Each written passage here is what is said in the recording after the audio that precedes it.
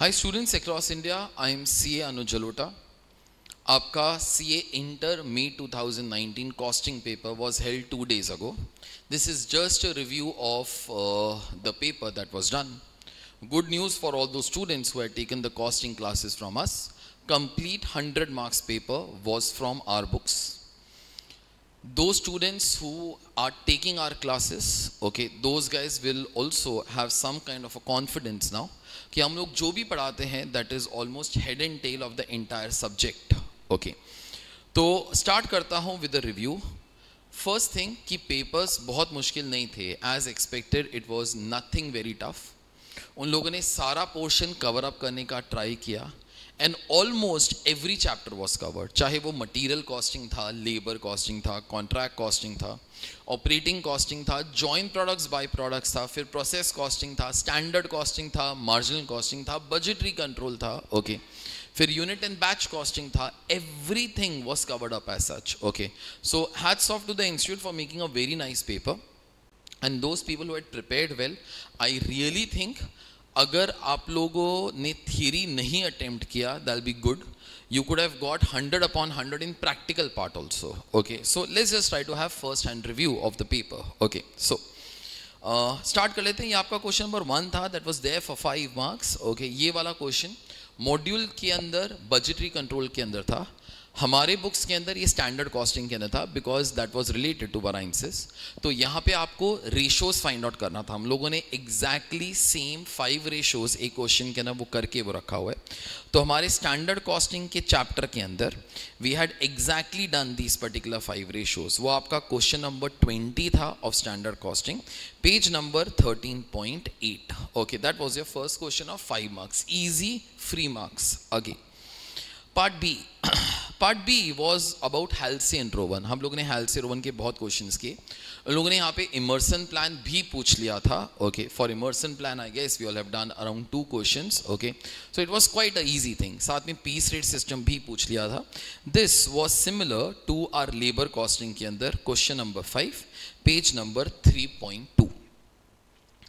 यहाँ पे five things fast एक Halsey Rowan time wage system मतलब without any bonus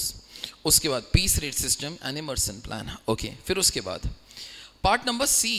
I think the moment our students must have seen it those guys must have become very happy ditto same question number by number कोई difference नहीं. एक उन लोगों ने नाम तो ज़रूर बदला, अभी दैट मच राइट तो इंस्टीट्यूट डज हैव हमारे बुक्स के अंदर बोमेक्स और ब्रूसिल था, इन लोगों ने वो ब्रूसिल के बदले में वो क्रोमेक्स कर दिया। लेकिन जॉइंट प्रोडक्ट्स बाय प्रोडक्ट्स का एग्जैक्ट सेम क्वेश्चन अपनी बुक के अंदर है same numbers also that was question number seven page number eleven point three okay ये हो गया तुम्हारा सी फिर उसके बाद in this case D D वाला जो तुम्हारा पार्ट था in this case that was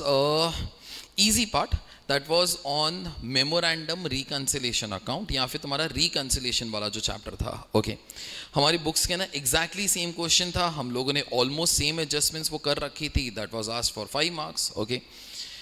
numbers थोड़े से बस वो डिफरेंट थे लेकिन all the adjustments were exactly same ये आपकी टेक्स्ट बुक के अंदर रिकन्सिलेशन के चैप्टर के अंदर. Reconciliation is your cost accounting system वाला chapter it was question number six page number seven point three as such okay so question number one जो compulsory था that was completely from our books तो आपको first question पढ़ के मेरे ख्याल से टेंशन uh, तो नहीं आया रहेगा. You must be quite happy about it okay चलिए. फिर उसके बाद क्वेश्चन नंबर टू। अभी जो क्वेश्चन नंबर टू है, हम लोगों ने ऑलमोस्ट अपने फ़र्स्ट थ्री फोर लेक्चर्स के अंदर कॉशीट के साथ ही किया था। In an other chapter called as unit and batch costing it was asked for very high marks ten marks हमारा जो यूनिट एंड बैच कॉस्टिंग है उस चैप्टर के अंदर this was mixture of question two and three शायद याद भी होगा, बहुत सारे स्टूडेंट जो करंटली कॉस्टिंग वो कर रहे हैं, जहाँ पे ये वाला एडजस्टमेंट था और जहाँ पे सेमी वेरिएबल ओवरहेड्स भी था। बस एक चीज़ ध्यान देने वाला था आईसी ने यहाँ पे पर एनम वो नहीं डाला, जो हमारे फ़र्स्ट क्वेश्चन के अंदर भी नहीं था, अगर आप लोग को याद होगा तो। तो question number two and three which were there on page number eight point two and eight point three as such okay ये था आपका क्वेश्चन नंबर टू का part A that was asked for good ten marks okay further further in this particular case अभी जो आगे वाला part था, ये वाला जो पार्ट था this was on process costing inter process profits हम लोगों ने भी ये वाला क्वेश्चन किया था। नंबर्स बदल गए, लेकिन almost the problem was same only या आपके प्रोसेस कॉस्टिंग के अंदर हमारा क्वेश्चन नंबर सिक्स था on page number ten point four and was asked for good marks ten marks I might have told the class ये वाला question हो eight marks के लिए तो वो पूछा जाता है, उन लोगों ने टेन मार्क्स के लिए पूछा so that was a bonus for you all as such okay फिर इसके बाद तुम्हारा स्टैंडर्ड कॉस्टिंग का एक क्वेश्चन आया था। This was a question for again ten marks जहाँ पे स्किल्ड सेमी स्किल्ड और अनस्किल्ड वर्कर्स थे। लेबर का आइडल टाइम भी था। So labour variances are dependent upon output हम लोगों ने ऐसे क्वेश्चन ऑलमोस्ट सेम टाइप के we all have done in a class also ये आपका स्टैंडर्ड uh, कॉस्टिंग का फोर्टीन एंड क्वेश्चन नंबर 15 से मिलता जुलता था। Both of them were there on page number 13.6 nothing very difficult all straight straight forward numbers compute all the variances ah such now once this particular thing was done फिर उसके बाद तुम्हारा part B part B जो आप लोगों का था in this case वो एक्टिविटी बेस्ड कॉस्टिंग के अंदर था। मैंने तुमको लेक्चर्स के अंदर भी बोला था कि activity based costing will be coming and it exactly came for ten marks honestly शायद ऐसा क्वेश्चन अपनी बुक के अंदर तो नहीं था but this was easier than our question number one also that we all had done अब हमारे क्वेश्चन नंबर वन का भी जो लेवल था, इस क्वेश्चन से बहुत ज़्यादा था। So it was very very very easy question आपके पास यहाँ पे तीन कॉस्ट थे आपको हर कॉस का कॉज ड्राइवर ही चाहिए था। कॉस ड्राइवर भी क्वेश्चन के अंदर ही था। Just try to divide the overhead cost in the ratio of cost driver a completely manageable question in exams in fact it was much easier than any of the question so far now तो as I told यहाँ पे तीन चीज़ें थी orders processed फिर machine hours worked and inspection hours and obviously all of them यहाँ पे तीन एक्टिविटीज़ थी और उसके तीन कॉस्ट ड्राइवर्स थे। तो ऑर्डर प्रोसेसिंग का कॉस्ट ड्राइवर ये हो जाता है इसका कॉस्ट ड्राइवर ये हो जाता है इसका कॉस्ट ड्राइवर ये हो जाता है। And the stories were all finished a very easy question सब कुछ क्वेश्चन के अंदर ही दिया हुआ था इनफैक्ट कि आपको करना क्या है। ओके okay, चलिए। अभी क्वेश्चन नंबर फोर पे चलते हैं। ये जो क्वेश्चन नंबर फोर था, मैं तुमको बार बार क्लास के अंदर वो बोलता गया कि आप अपना होमवर्क सेक्शन कीजिए जो पीछे है। जिन लोगों ने किया, उन लोगों को रियलाइज़ हो गया होगा और बेनिफिट भी मिला होगा। Question number four was exactly question number one of our homework section numbers थोड़े बहुत वो इधर उधर थे but it was same wording same expenses everything was same it was question number one of homework ये तुम्हारे पेज नंबर 17.31 के अंदर है okay in the homework section जो तुम्हारे एंड के अंदर है ओके चलिए। तो to students who are attending the classes now it's very important that you all practice few of the questions by yourself those questions are also important वहाँ से भी तुम्हारा जो पेपर है, आ सकता है। This question was asked for 10 marks okay ये हो गया तुम्हारा क्वेश्चन नंबर 4a फिर उसके बाद 4b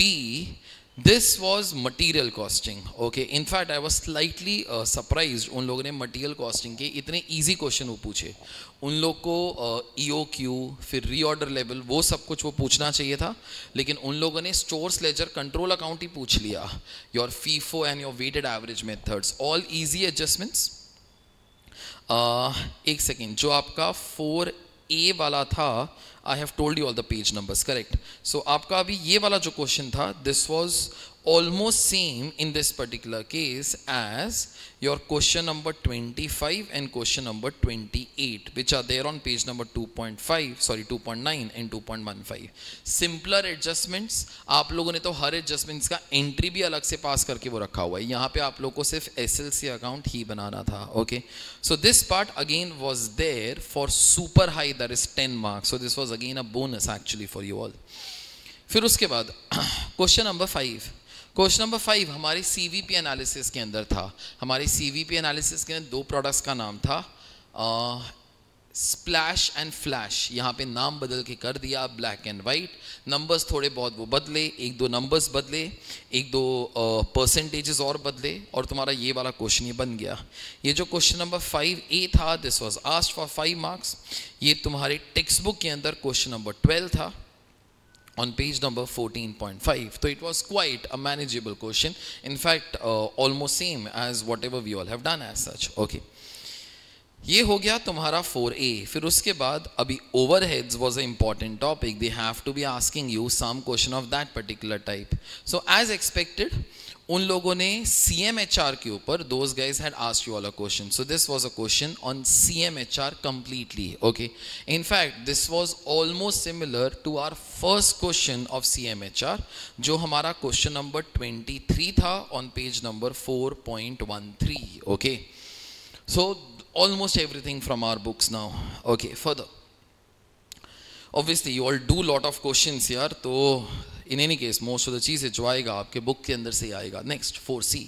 this was asked for 10 marks and this 10 marks as such was from contract costing in fact अगर मैं तुमको ये वाला adjustments अगर मैं पढ़ाऊँ भी तुमको याद भी मेरे ख्याल से आ ही जाएगा that हम लोगों ने same adjustments करके रखा हुआ है contract price was 45 lakhs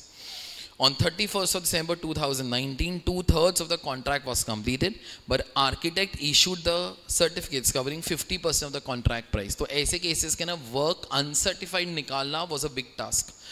Uh, work uncertified was always valued at cost. Exact same question.